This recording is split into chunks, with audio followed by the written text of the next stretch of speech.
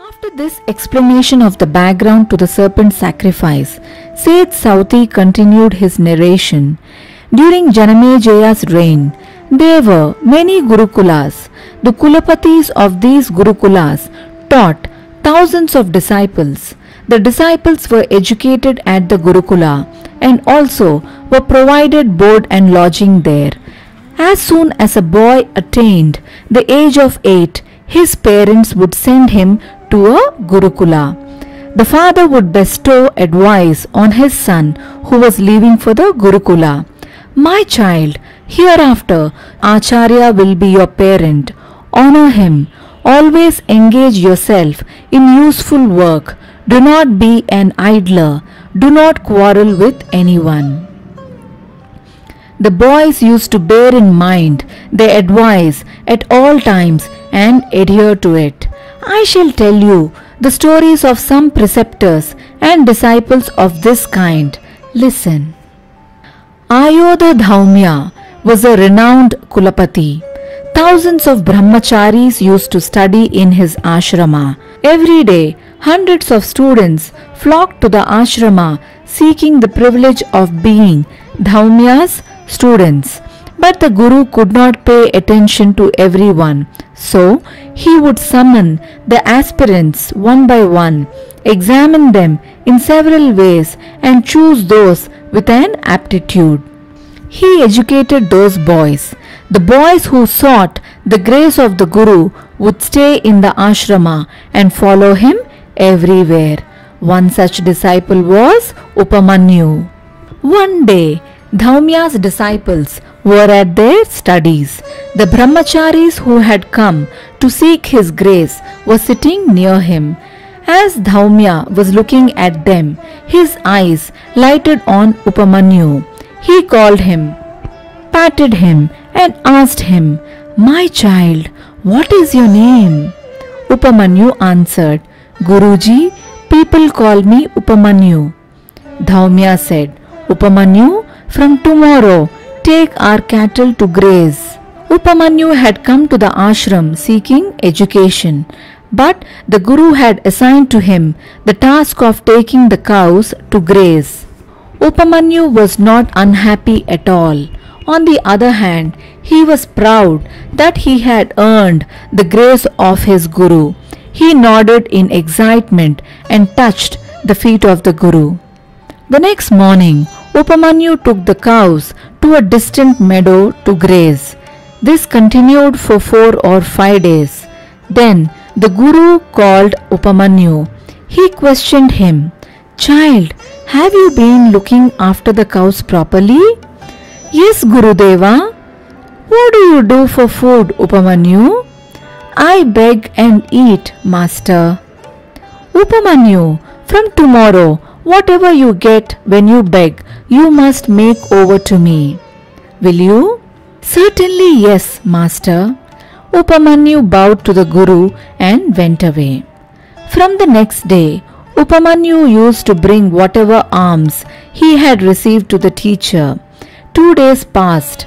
Once again, Dhaumya sent for Upamanyu. The disciple came and stood before him with folded hands. The Guru scanned the boy's face. There were no signs of weakness or hunger. He questioned him, Child, what are you doing for food? Sir, I go out seeking alms the first time and make over to you whatever I get. I go begging a second time for my food. The master appreciated his truthfulness, but without revealing it, he said, Child, what you are doing is wrong. You are depriving another brahmachari of his food, so you should not beg a second time. Very well, master. Upamanyu answered and bowed and went away. Three days later, once again, Upamanyu was summoned. Even then, the Guru found no sign of fatigue or hunger in the boy's face. He asked the same question. The boy answered, Guruji, I drink the cow's milk. Child, that is not right. You are taking away the ashrama's share of the milk. Do not do so. Yes, master, said Upamanyu and went away. Three days later, again Dhaumya sent for the boy. Even then, the boy showed no signs of weakness or hunger. The master put the same question. Child, how do you feed yourself? Sir, when calves bring the milk of their mothers, the froth sticks to their mouths. I sustain myself on it. Again, the simple, honest answer of the boy pleased the Guru. But without showing it, he said, Child, out of pity for you, the calves give away all the milk they have taken in the form of froth. So you are actually drinking the share of the milk the calves ought to have. Do not do so from tomorrow. I shall obey, master, said Upamanyu and bowed to him and returned to his duties. Three days passed. The sharp rays of the sun were scorching the earth. Upamanyu was grazing the cows. He had been starving for three days. The teacher had forbidden every kind of food he used to eat. Hunger was gnawing at his entrails within, and the sun was scorching outside, and yet he was grazing the cows with the greatest difficulty. He was struggling to perform honestly the duty entrusted to him by his Guru. But as time passed, his hunger grew fierce. It became exceedingly difficult to bring back the cows which strayed far away. As he walked on, he saw the leaves of a plant in a shrub. Unable to bear his hunger, he plucked some leaves and gobbled them up. But there was poison in the leaves. Both his eyes were blinded. Pitch darkness seemed to descend on him all of a sudden, and he was terror stricken, crying aloud pitiably, Gurudeva! Gurudeva! He began to run wherever his feet carried him, and as he ran, he fell into a dried up well. Standing in the well, he was still repeating the cry, Gurudeva! Evening fell. The cows wended their way to the ashrama. The dust raised by their hooves spread everywhere. Sitting in his ashrama, Dhaumya was waiting for Upamanyu. The cows entered in herds, but Upamanyu, who should have followed after them, did not appear. Dhaumya was troubled. He could not make out why Upamanyu had not come back. At once he set out for the forest. He looked for him in all the places where the cattle used to graze. But there was no sign of Upamanyu, and as he stood there worried, he heard a feeble voice cry, Gurudeva, Gurudeva. He walked in the direction of the voice. He came to the well into which the boy had fallen. He stood near the well and said, My child Upamanyu, how is it you have fallen into the well? Upamanyu narrated what had happened. The Guru was deeply moved, for the lad had strictly obeyed his instructions. He said, Child, do not be afraid, stay where you are.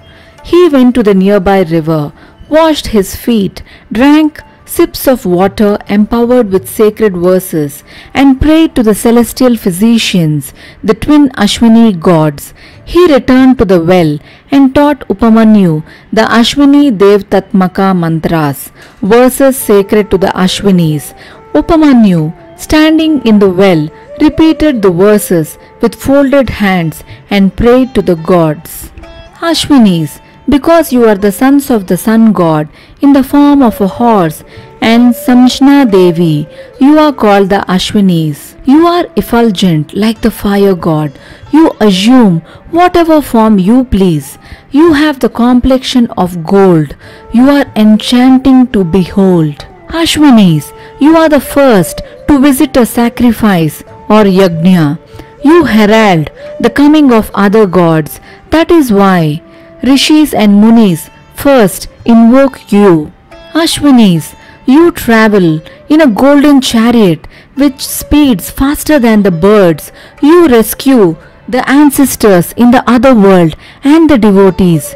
You cure blind persons and bestow beautiful eyes. You cure skin diseases and bestow an attractive complexion. Ashwinis, you are benefactors. The power of the moon resides in water, and so you cure diseases through water. You ensure that the seven colors in the sun's rays pervade the earth according to the season, and so ensure the health of people. Physicians to the gods, I am too humble to do justice to your great traits. I have lost my eyes and have fallen into a deep well. I surrender to you. I cannot recover fully without your grace. Save me. The Ashwinis were pleased with Upamanyu's prayer. They appeared before him, held his hand, and said, Child, eat this delicacy. Your sight will be restored. Upamanyu said, Gods, I cannot eat anything without the permission of my Guru. His devotion to the Guru left the gods speechless. Dhaumya, deeply moved by his words, said in a voice choked by emotion, Child, I approve. Eat the delicacy. Upamanyu partook of it. At once he regained both eyes. He prostrated to the Ashwinis. They raised him from the well and brought him back to his Guru. Upamanyu touched the feet of his Guru. Dhaumya embraced his disciple.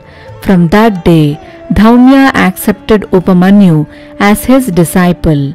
In course of time, Upamanyu acquired all knowledge and returned home with the master's blessings.